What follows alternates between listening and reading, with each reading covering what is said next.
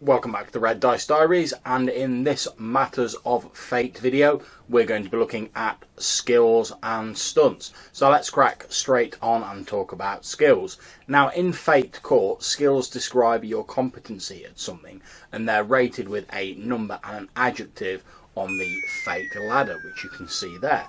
The higher the number the better the skill. For example if you have a fight skill of 3 then you're a good fighter, whereas someone with zero skill in fighting is mediocre. Skills are fairly broad in Fate in order to keep the list to a manageable size. This does have the benefit, however, that the default list can be used to cover a variety of game genres without too much tweaking being necessary. Skills are normally used for the four main action types in Fate, We'll go into them more in a later video, but since they have a bearing on skills, here's a brief rundown. The four actions are overcome, which is tackling some kind of challenge, engaging in a task, or otherwise overcoming a hindrance to your progress. Two, creating an advantage, which is discovering something about an opponent or creating a situation that aids you and your allies in the form of uncovering aspects. Three is attack, attempting to harm someone in a conflict, whether by physical, mental, or social or emotional means. Or defending, which is the fourth action, which is attempting to prevent someone from harming yourself or an ally. The default core skill list in Fate is athletics, burglary, contacts, crafts, deceive, drive, empathy, fight, investigate, law, notice, physique, provoke, rapport, resources, shoot, stealth, and will. Most of these are pretty self-explanatory, so I won't go into them now, but if you need more info, the Fate Core book provides detailed explanations of what the skills are and how they can be used in a game. Certain skills also give you additional effects, such as physique and will giving additional stress boxes, as long as you're using the default skill list. Now we'll move on to stunts, and stunts are special little tricks and traits that your character can have that either provide bonuses to or affect the way that a skill works. Characters get three stunts for free at character generation. Taking any more than three lowers the character's refresh by one for each additional stunt taken, which means effectively you're trading in your refresh, i.e., the amount of fate points you're going to regularly get, and versatility for the regular power boosts that stunts can provide. So it's basically a case of do you want versatility or do you want reliability? That's down to the individual player. Because stunts tend to be individualized to characters rather than skills which are generally represented in a similar manner no matter who possesses them, the Fate system offers you guides on how to build your own stunts along with examples.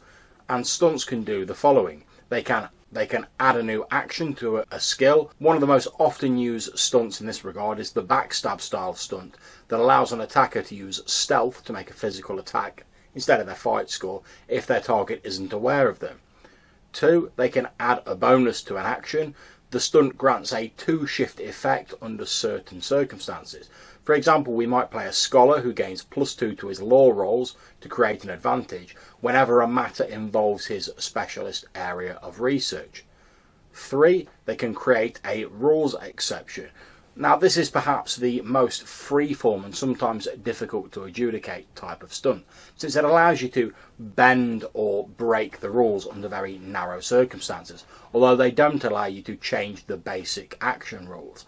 For example, the riposte stunt listed in the Fate Corebook allows someone who has succeeded with style on a fight roll to inflict a two shift hit of damage rather than take a boost.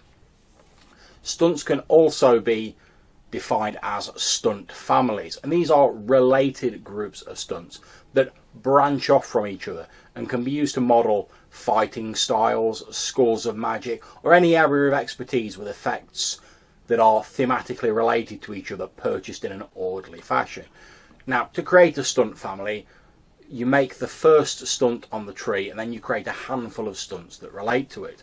One of the easiest ways to do this is just to make the original stunt more powerful. And some of the ways that you can do this are to add an additional action but narrow the circumstances under which it can be used, give an additional plus two bonus to an action or add another two shift effect, or if the original was a rules exception, broaden the effects of the original stunt.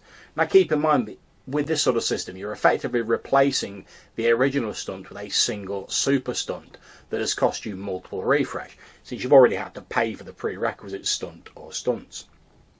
Stunt families can also be created using a branching style, where each stunt is thematically related but has a separate effect. In this, you're not so much replacing your original stunt with a super stunt version, but more buying a collection of stunts that are linked within the narrative and that have a strong theme. If you're interested in knowing more about stunts, the Fate core book or the Fate SRD system reference document, which I'll put a link to in the description down below, offers a few stunts relating to each of the skills in the Fate core list. The Fate Accelerated build of the game also has a similar stunt build system or stunt rubrics as they are known, although they're obviously tweaked and a little bit more general to take into account the fact that skills aren't used in that game. The stunts in both of those books can be used as is, or at the very least, they're helpful for helping you to design your own stunts. So there we go, that's a quick rundown on skills and stunts in Fate. I hope if you found this video useful and enjoyable, you'll consider clicking on the red dice up there to subscribe to my channel. If you like this video, hit it with a thumbs up. If you didn't, give it a thumbs down. If you have any comments, please put them in the box down below or hit me up in the Google Plus links. As always, I really do enjoy reading what you write. So until I see you next time, take care and happy gaming wherever you are.